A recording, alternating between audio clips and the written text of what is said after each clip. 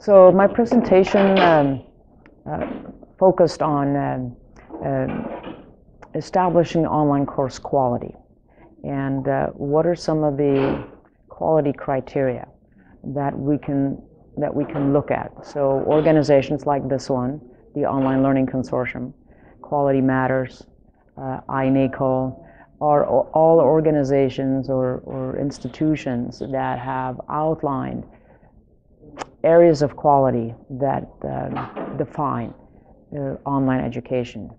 And so from that, um, individual institutions can, can take, um, uh, build a framework and say, uh, align it with their mission, align it with their goals, and um, provide a, um, a, way of thinking about addressing quality in online courses that would extend to the program as well to the, the online education at large um, to, of the institution.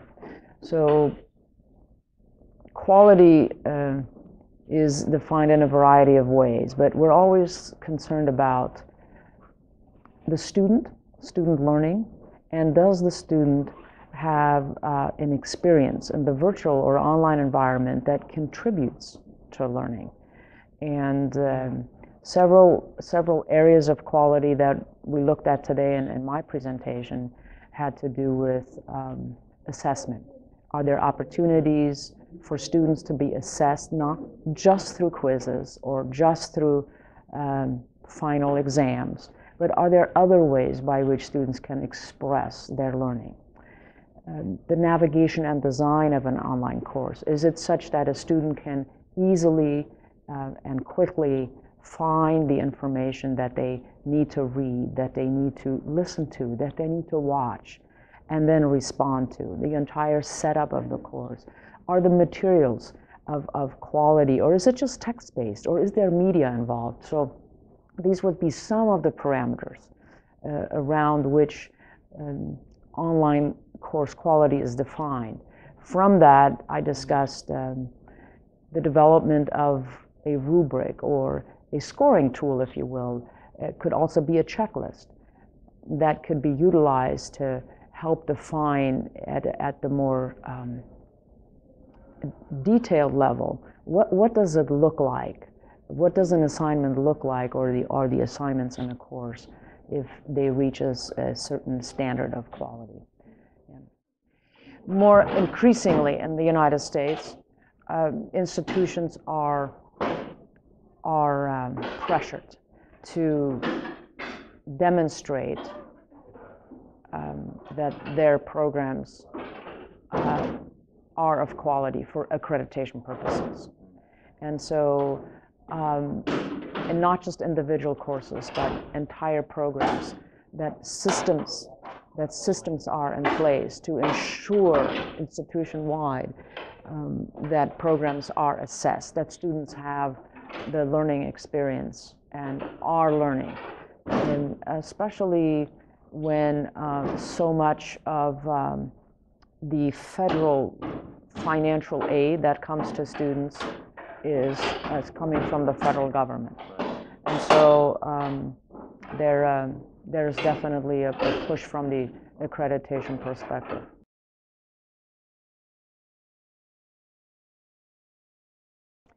So to, to align um, quality standards of a course to learning outcomes, I, I, I, think, I think is, a, is an essential connection.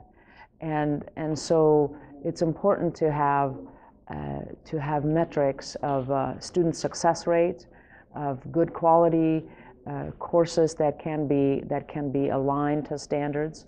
Um, I personally have not done conducted such a study, but um, if the if if an institution wishes to offer online online courses, I think those are metrics that uh, are important to establish. Clear criteria for quality in online courses.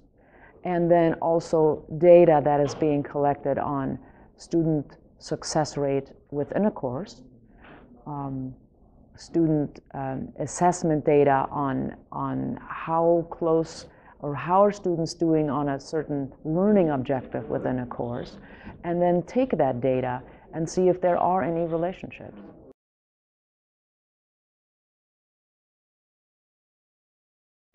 I think the perception often is that, that there is more scrutiny on online courses than there is in a face to face course. The reason for that, or the, the history, uh, comes from institutions having to make a case for offering online courses in addition to traditional courses. And um, when in fact, there are many cases where online education, where, where online courses are actually better designed than a face to face course because they have gone or undergone more, more scrutiny. So uh, I think in terms of learning principles, they ought to apply in a face-to-face or online course. Whether that actually happens, I'm not, I'm not sure. There are studies being done that look at, at, at especially retention. I think uh, retaining students in a program and how does that correlate with good design of a course.